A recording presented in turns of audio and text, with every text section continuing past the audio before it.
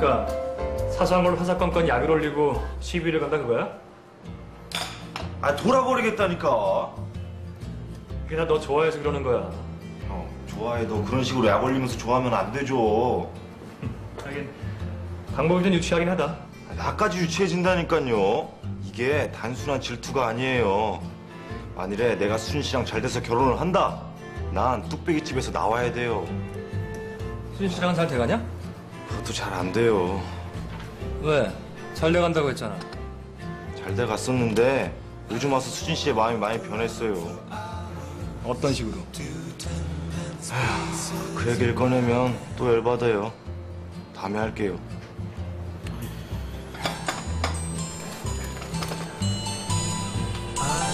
지금 위치 추적 들어온 거예요.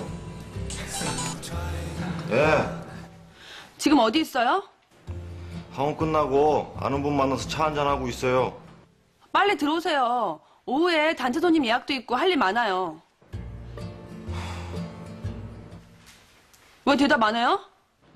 네, 대답했습니다. 태경 씨냐? 예. 아, 피곤해요, 정말.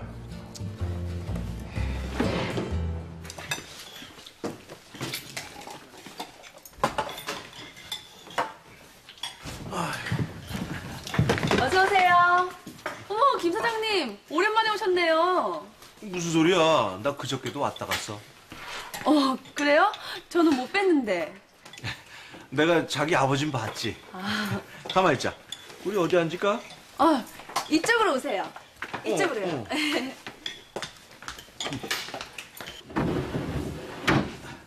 어. 아이고 좋네. 아이고. 옷 쳐주세요. 어 고마워요. 저 우리 말이야 그 도가니 수육 하나 하고 맥주 하나 소주 하나 갖다 줘. 식사는요? 식사는 뭐 설렁탕 그 보통으로 세 개. 식사는 조금 나중에 갖다 드리면 되죠? 그렇지? 감사합니다. 어 그러고 말이야 그 수육 가져올 때 그 엊그제 먹었던 그 색다른 양념장 있거든? 그거랑 같이 좀 갖다 줘요. 그냥 보통 양념장 말고요. 어, 그, 그 주방 할머니께서 만드셨다고 그러던데? 아 근데 그게 입맛에 맞으셨어요? 어, 그 수육을 그 양념장에 찍어 먹어보니까, 아, 별미더라고. 그래요?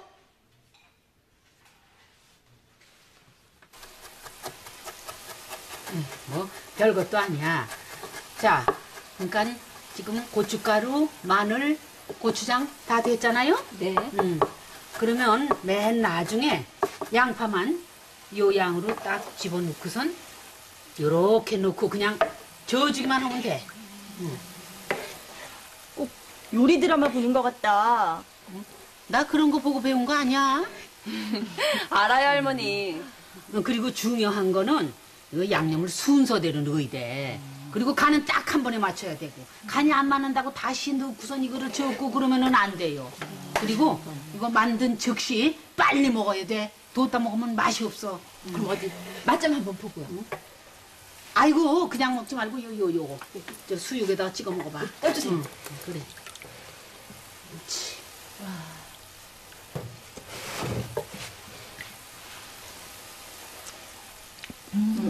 괜찮아? 응. 장이 달지도 않고 너무 맛있다.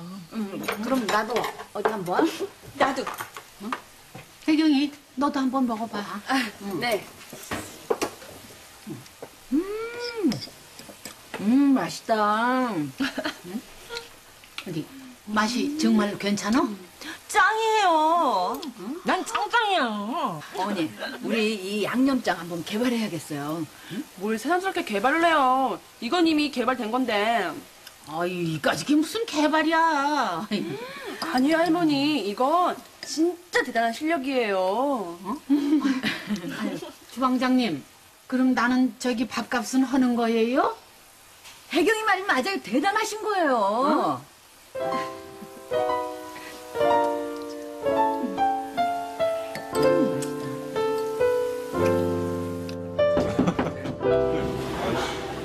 김 사장님. 방금 그 수육장 만드신 분이 저희 외할머니세요. 처음 뵙겠습니다. 아유, 이- 이 양념장 맛이 아주 기가 막힙니다. 앞으로 자주 오겠습니다. 아유, 예, 오실 때마다 만들어 드릴게요. 예, 예. 예, 아주 맛있게 잘 먹겠습니다. 맛있게 드세요.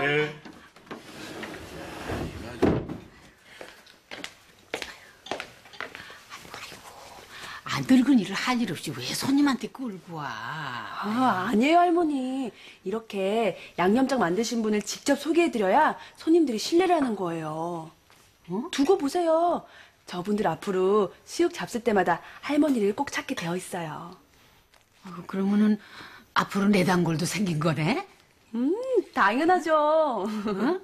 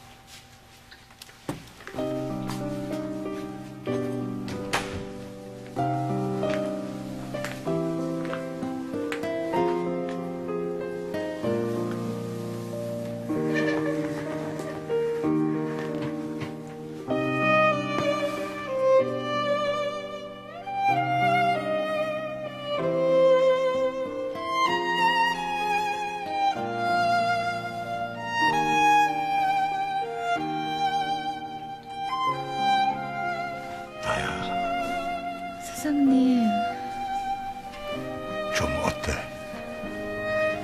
괜찮아요.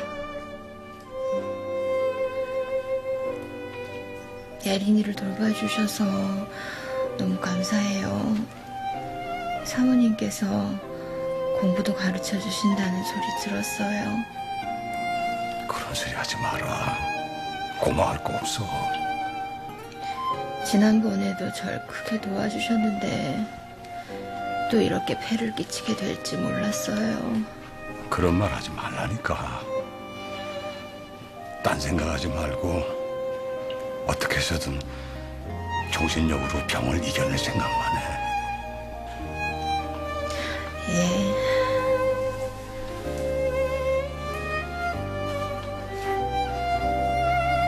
나야말로 예린 엄마한테 미안해. 지난 일을 마음에 두고 계신다면 훌훌 다 털어버리세요. 전 이미 다 털었어요. 모든 게 다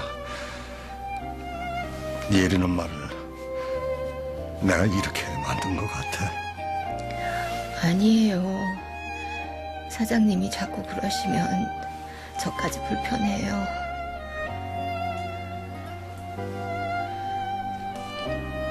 전 꼭 일어날 거예요. 그럼 꼭 그렇게 될 거야. 힘내.